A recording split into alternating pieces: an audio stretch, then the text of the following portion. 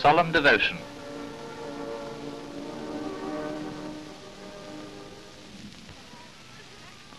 Young French speed merchants with their latest sports model scooters called trottinettes are not to be denied their Grand Prix. And the Esplanade des Invalides, for one afternoon at any rate, becomes a sort of junior Brooklands.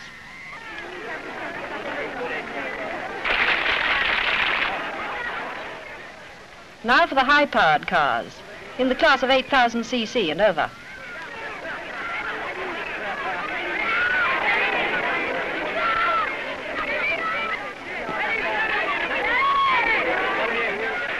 Oh, lucky winner.